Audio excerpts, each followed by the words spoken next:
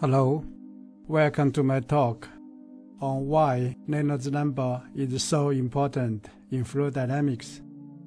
This talk is on the applications of Reynolds number for improving the performances of airfoils. When the airplanes increase their speed and when the wind turbines increase their size, the corresponding Reynolds numbers become increased. It is found that from the wind tunnel test, as well as two days CFD modeling, airfoil performances have been well linked with the relevant Reynolds number. In this talk, we will see how the earlier airfoils have been evolved to the modern airfoils and what is the main reason to make such an evolution.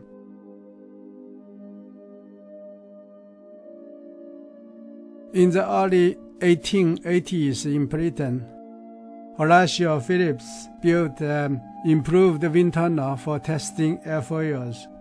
And due to the nature of low Reynolds numbers in the wind tunnel test, Phillips could develop and patent a series of cambered seeing airfoils. See the picture here. These airfoils have the following features. All the airfoils are cambered seeing airfoils. All leading edges are sharp. We can imagine such airfoils should have good aerodynamic performances from our initial intuitions with the thin airfoil and the sharp leading edge. In fact, these types of airfoils were well accepted by the practitioners such as Otto Lilienthal, Wright Brothers, and the World War I aircraft. See the next few slides. Here, I must emphasize the maximum lift and uh, drag ratio of these airfoils is about 10.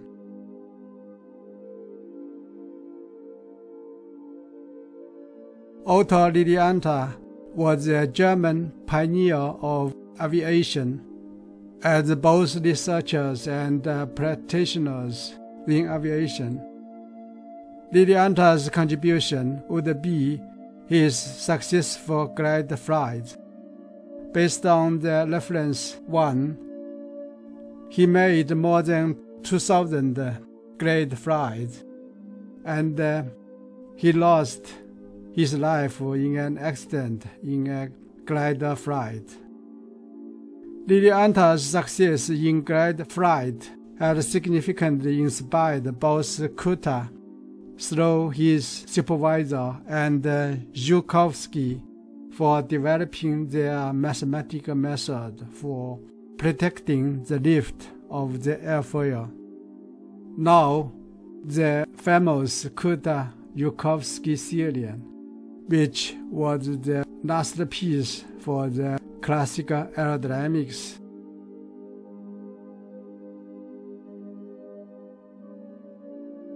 Wright brothers, the inventors of the first successful aeroplane. The significant events were on December 17, 1903, the Wright flyer lifted into the air and flew for about 12 seconds, covering 120 feet over the ground.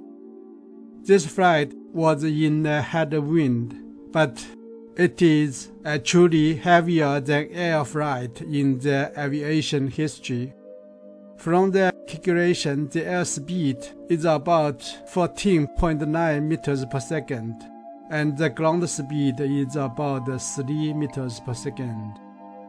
And the more successful story was the one less in a year on September 20, 1904 they made a four closed-socket flight. The average speed is 13.8 meters per second. covering 1,244 meters in one minute and a half. And after that, more successful stories in aviation have been seen.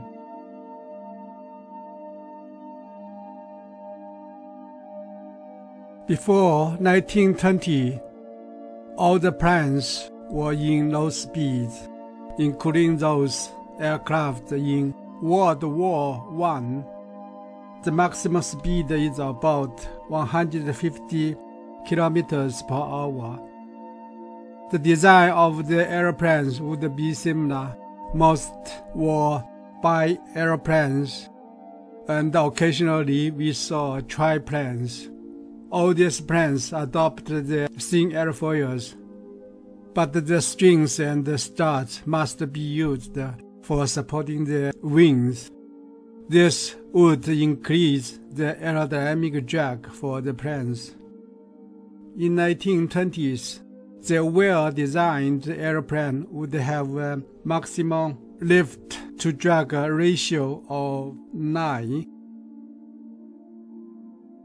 Compared to the modern airplane, today's commercial flights, the speed would be about 900 kilometers per hour, and the fastest manned aircraft, X-15, the speed is larger than 7,200 kilometers per hour.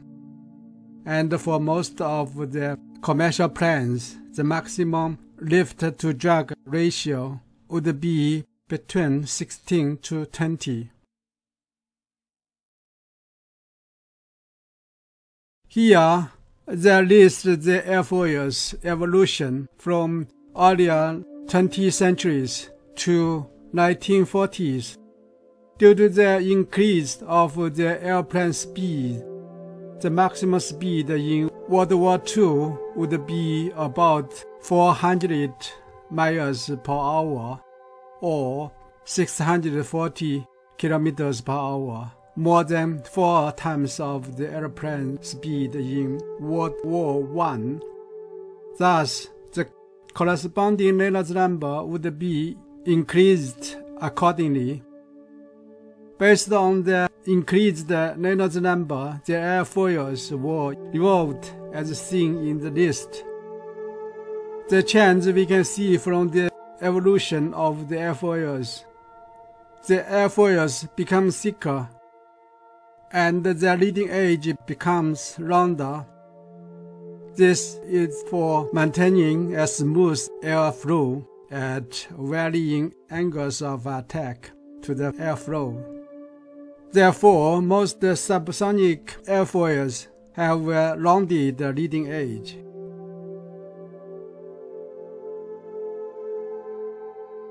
The scientific evidence was very obvious when we compared the lift against the drag for the thin flat plate, the thin cambered plate, and an airfoil. When the Reynolds number is low at 40,000, if we calculate the airspeed for a chord at 0.1 meter, the air speed would be 6 meters per second. And in this low Reynolds number, we can see the airfoil performs very bad compared to the flat thin and the cambered thin airfoil. And we can see the maximum lift to drag ratio is about 30 for the cambered thin plate. However, when the Reynolds number is increased to 120,000, the corresponding airspeed would be 18 meters per second using the same chord. We can see here the flat thin plate and the cambered thin plate would perform very similar as in the low Reynolds number but a significant change has been on the airfoil. The lift coefficient has been largely increased from about 0.5 to more than 1.3, as well as the drag coefficient decreases. So the maximum lift to drag ratio would be higher than that of the cambered thin plate. it is at about 45. If we compare the earlier airfoil to the modern practical airfoil, the maximum lift to drag ratio would be about 100 based on the reference. One extreme case is the research work in the reference 4, where an airfoil is proposed with the maximum lift to drag ratio about 600. Obviously, this airfoil has no practical use since it was purely designed to show what we can obtain in theory.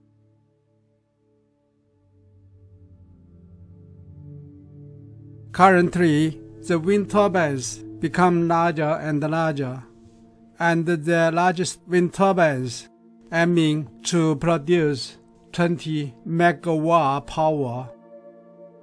That means the wind turbine become larger. Accordingly, the corresponding local Reynolds number based on the local chord would be larger than 10 million. Here, take the airfoil NACA 633-018 as an example. Generally, for most of the airfoil, the database might have the data with the highest Reynolds number less than 10 million. So in this case, we need to examine the airfoil performance in a large Reynolds number, say 20 million. Here, we can see the lift coefficient would be different for the Reynolds number of 9 million and the Reynolds number of 20 million. So we can see the higher Reynolds number, the airfoil would have a larger lift coefficient. If we look at the drag curve against the lift, we can see the difference for different Reynolds number is quite large see here, the larger the Reynolds number, the smaller of the drag coefficient. Now if we take uh, CL equaling to 1.2 as the design point, for the Reynolds number at 9 million, the corresponding lift to drag ratio would be about 105. However, for the Reynolds number at 20 million, the lift to drag ratio would increase to 130. This means when the Reynolds number increased from 9 million to 20 million, the lift to drag ratio increased by 23.8%.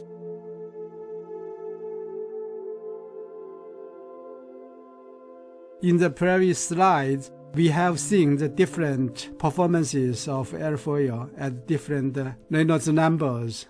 But how we can examine the difference? Currently, we can use CFD for such a modeling, but the most reliable method would be still the wind tunnel test.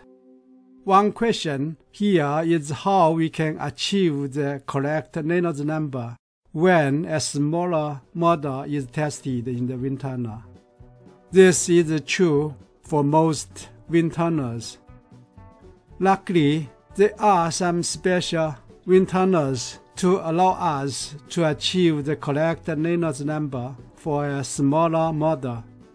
In the next three slides, we will examine how we can achieve this practically.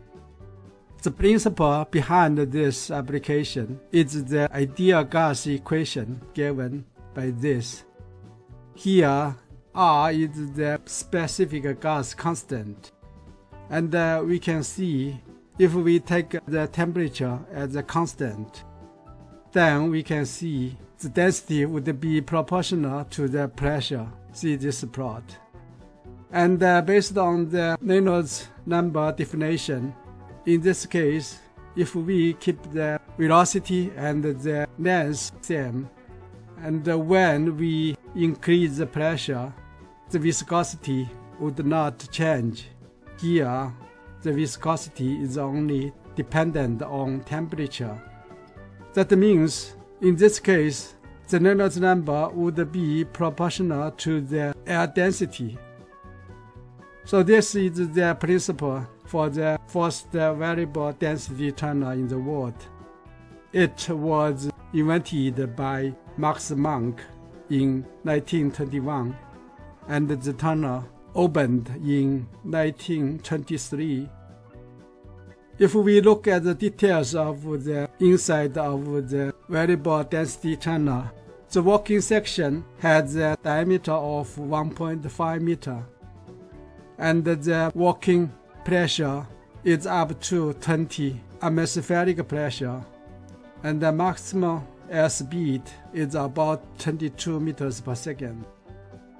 This wind tunnel produced data for eight classic airfoil ships, totaling 78 airfoils. The details can be found in the report, the reference here.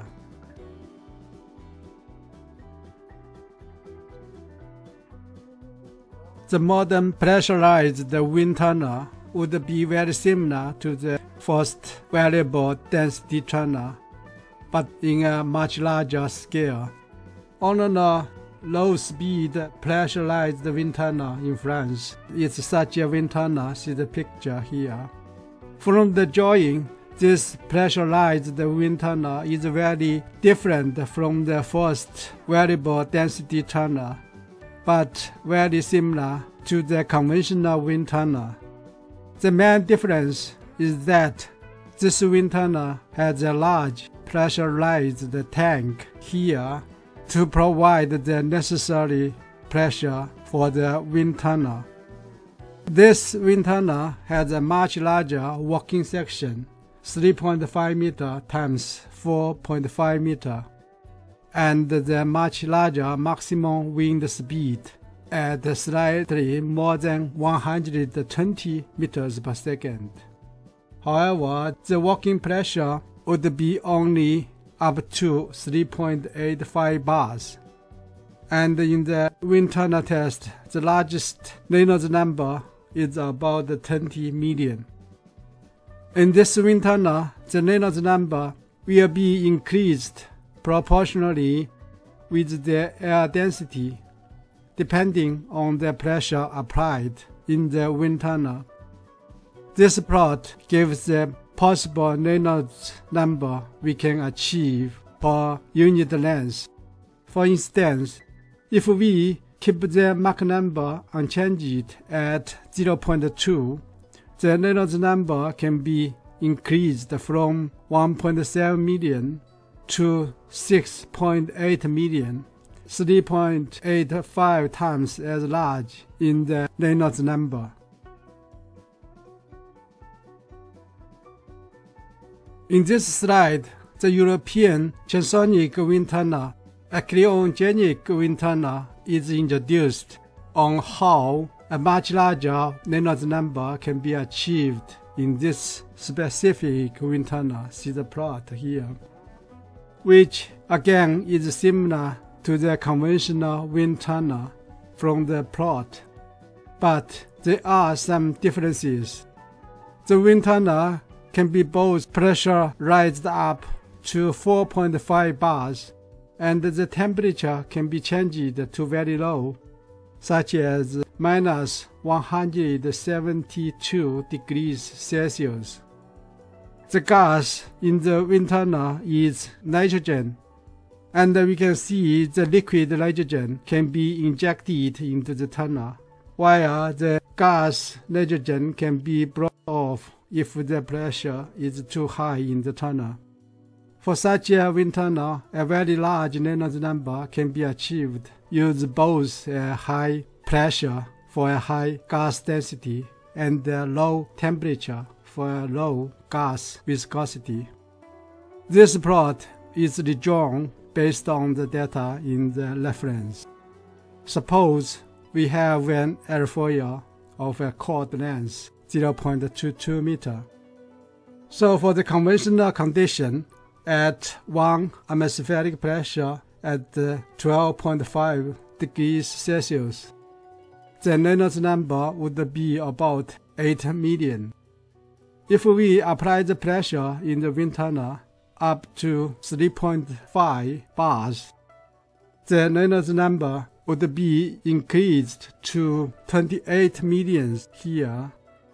If we keep the pressure at the atmospheric pressure and lower the temperature to minus 172 degrees Celsius, the Reynolds number can be increased to 50 million, the point 2 here. If we use both high pressure and low temperature in the cryogenic wind tunnel, this is actually the cryogenic wind tunnel 4. The Reynolds number can be increased to 136 million. It would be 56 times larger as that in the conventional atmosphere. This Reynolds number is in the range of the Reynolds number for the full airplane.